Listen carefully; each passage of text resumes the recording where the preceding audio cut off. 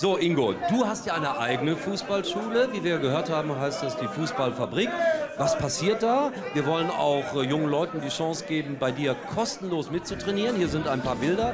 Was ist das Besondere an deiner Fußballfabrik? Ja, letzten Endes äh, machen wir Fußball. Wir versuchen nah an den Ausbildungszentren der Bundesligisten heranzuarbeiten.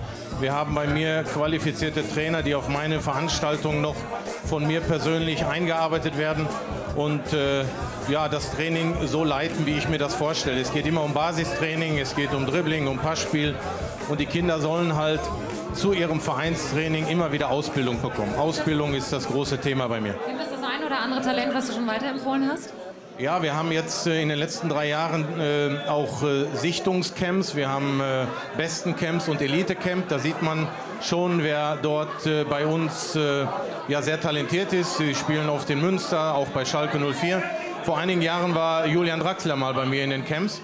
Ähm, aber das ist schon ein bisschen her. Ich hoffe, er erinnert sich noch dran. Er hat mal ein Feriencamp besucht. Äh, das will ich nicht überbewerten, aber äh, ich glaube, es waren schon sehr, sehr viele Jugendliche bei mir in den Veranstaltungen und sind dann irgendwo gelandet. Aber wir haben nur einen ganz kleinen Teil an Ausbildung, denn das Hauptcredo machen die Vereine. Was ist Ihnen damals schon bei Draxler aufgefallen? Also ich kann mich äh, nur noch daran erinnern, dass der Name damals auffiel und wir haben so viele Kinder ich muss gestehen, äh, Also ich weiß nicht so nicht mehr, wie er mit elf oder zehn äh, Jahren dort war. Äh, es sind immer viele Kinder, die herausstechen. Und ob es gerade Julian war, ich bin fast sicher, dass es so war. Aber äh, ich müsste lügen, wenn ich jetzt sage, es war so.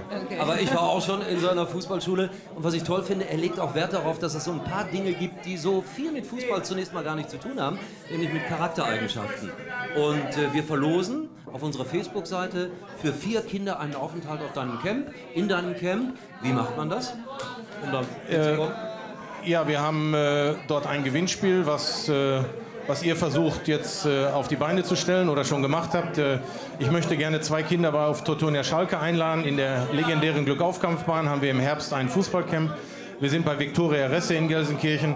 Ähm, also dort äh, kann man mitmachen und äh, ich hoffe, es gewinnt ein fußballbegeisterter Junge. Jetzt hoffe ich, dass der Papa die richtigen Fragen beantwortet. Ich bin mir da ganz sicher, dass das der Fall sein wird. Also mitmachen, liebe Eltern, für die Kinder sozusagen. Bei uns auf der Internetseite findet man alle weiteren Informationen. slash Sport. Merken.